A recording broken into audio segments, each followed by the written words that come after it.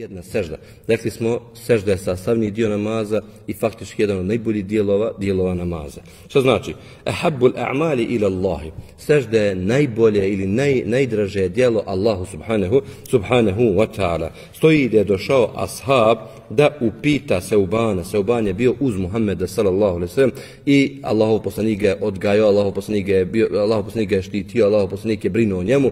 Bio je taj Seuban uvijek uz Allahov poslanika. Pa pita taj ashab Seubana koje je najdraže dijelo Allahu subhanahu wa ta'ala i koje je dijelo najviše voli uzvišeni Allah subhanahu wa ta'ala. Pa mu on reče, to je da činiš puno seždu Allahu subhanahu subhanahu wa ta'ala. Također, e, šta nam doprinosi sežda, zbog čega nam je vrijedna sežda, jeste ko bude čineo puno sežde, bit će u društvu sa Muhammedom sallallahu alaihi wasallam. Dolazi mladić koji je pripremio Allahom poslaniku Muhammedu sallallahu alaihi wasallam vodu za abdest. Pa ga pita Allahom poslanik šta ćeš kao nagradu što si mi donio vodu za abdest. Kaže Allah poslanik ću s tobom da budem zajedno u dženetu. Hoću zajedno s tobom da budem u dženetu. Pa mu kaže Allah poslanik hoćeš nešto drugo, kaže neće Allah poslanik. Hoćeš nešto drugo, kaže neće Allah poslanik. Hoće nešto drugo, neće Allah poslaniče.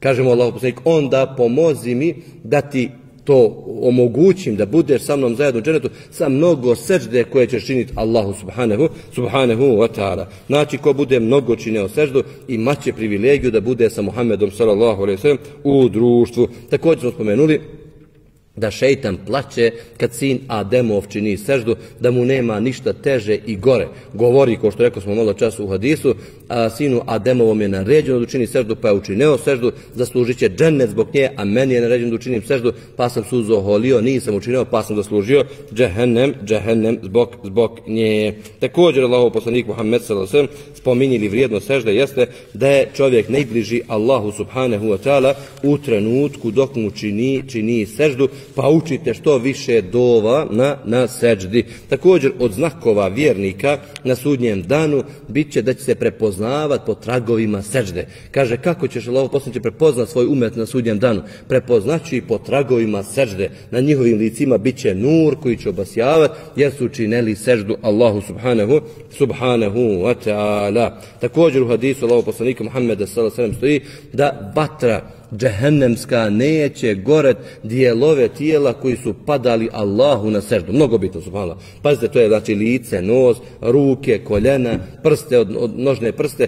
To vatra neće goret za to što je to padalo Allahu na seždu. A što misle za onoga koji nikad Allahu nije učinio seždu takav, nije siguran da njegovo tijelo, odnosno ove dijelove tijela, neće goret, goret džehennemska, džehennemska vatra. Također, Sežda je mjesto gdje Allah ne odbija dove. Gdje Allah ne odbija dove. Zato mu'min, vjernik, treba da zna šta je namaz. Treba da se očisti, da se pripremi. Pazite koja tu priprema treba da bi se čovjek pripremio Allah da uzme lijepo abdes, Pa da stane u namazu, pa kad padne znači na seždu, da zamoli Allaha subhanahu wa ta'ala za ono što mu treba. Neće mu biti odbijena, odbijena dova. Također sežda je sežda je razlog da Allah subhanahu ta'ala insana obaspe svojom milošću, svojim, svojim rahmetom. E sad vidite koliko gubi onaj insan koji ne obavlja namaz i koji ne čini seždu Allahu subhanahu subhanahu wa ta'ala. Stoga povedite računa, nema bolje dijelo nakon šehadeta. Zapamtite ovo, ponavljamo svaki put.